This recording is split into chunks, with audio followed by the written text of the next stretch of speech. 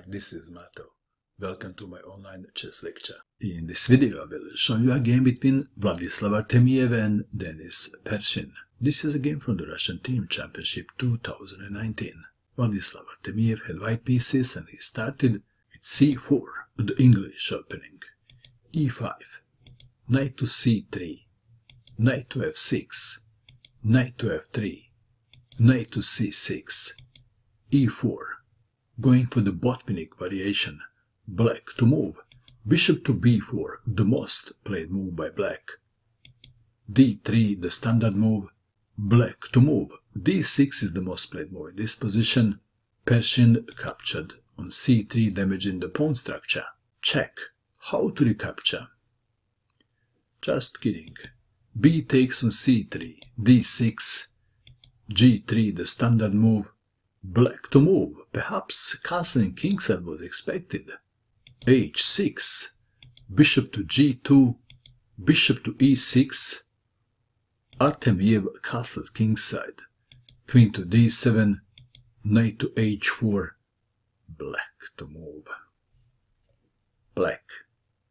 Then the castle kingside. He castled the queenside. Very ambitious and interesting move intending bishop to h3 to exchange the light square bishops and to attack the castled white king. Queen to a4. Bishop to h3. White to move. How would you continue? Artemiev played this very clever move. Knight to f5. Bishop takes on g2. Let's take it back. If bishop takes on f5, pawn takes on f5. And if now queen takes on f5, white can immediately take on c6 or play rook to b1.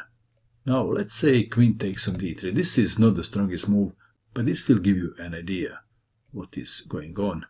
Then white can take on b7, and after king takes on b7, check, king to c8, queen to a6, check, king to b8, queen to b7, checkmate. Back to our game. So winning pawns is not a good idea, is it? Bishop takes on g2 was played. King takes on g2. Knight to h5.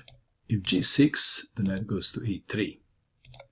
Knight to h5. Rook to b1. Rook from d to e8. White to move. f3 was played. If something like bishop to d2, then g6, and after knight to e3, Black can sacrifice the knight on f4. Check. The pawn takes on f4, pawn takes on f4. If knight goes to d5, queen to g4, check. King to h1, queen to f3, check. And black has a draw by perpetual. Back to our game. f3 was played.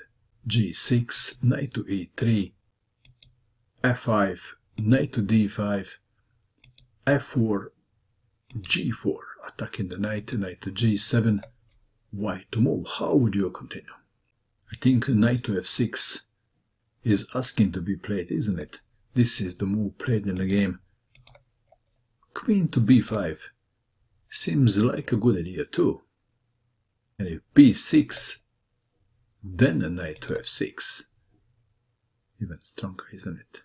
Back to our game. Knight to f6, queen to e7, knight takes on e8, knight takes on e8, d4. If queen to b5, black can play knight to d8. d4, h5, intending to open the h file. How would you continue? Artemiev played g5, giving up the pawn to keep the file closed. Queen takes on g5 check. King to h1 and the white king is quite safe on h1. a6 preventing queen to b5, white to move, and the white dark square bishop was screaming, pick me, pick me, pick me. Bishop to a3, queen to h4, intending to push the pawn on g-file as far as it can go.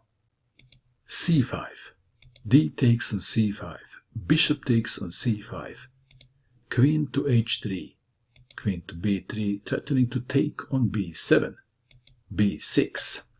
defending and attacking the bishop.